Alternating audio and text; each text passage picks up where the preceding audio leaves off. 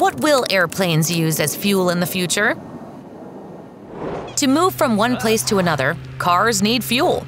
So do airplanes. The fuel we use now releases a gas into the air.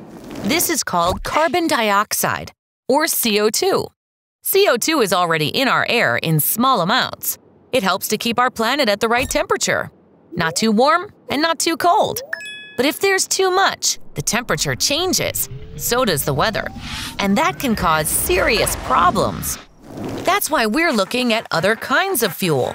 One option is algae or waste, like used cooking oil. Yes, really. We can turn it into a special kind of fuel for airplanes, even for the biggest ones. We can also use batteries.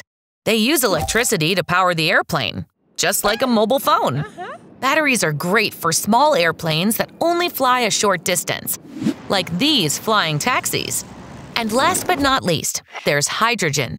We are only starting to learn about it, but it's super exciting.